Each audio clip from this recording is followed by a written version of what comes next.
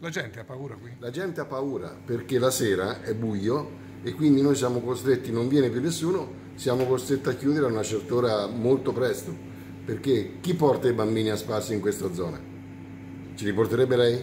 No. Ecco. Se, Cioè- lei, se lei fa un giretto di notte, Eh. di sera, vedrà che non c'è un'anima viva perché la gente è tappata in casa.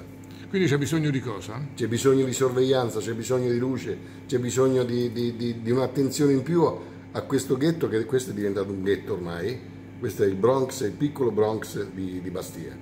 Noi siamo, siamo emarginati perché paghiamo le stesse tasse che pagano gli altri, ma i servizi non ci sono. Cioè, Quante volte hanno colpito in questo bar? tre volte. Sempre con danni o anche con furto?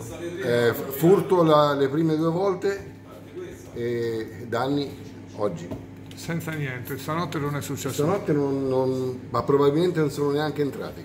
Ok. Quindi lei chiede al sindaco sorveglianza Sì. e illuminazione. Sì, sì, perché è Vabbè, importante. Vuole parlare anche lei, signora? Venga. No. Può parlare fuori campo. Eh, A Natale anche non c'è mai una luce, sono cinque anni che siamo qui, non c'è stata mai messa una luce. Le luci arrivano in fondo alla strada, le luci di illuminazione di, di abbellimento arrivano in fondo alla strada, ma noi paghiamo le tasse come gli altri.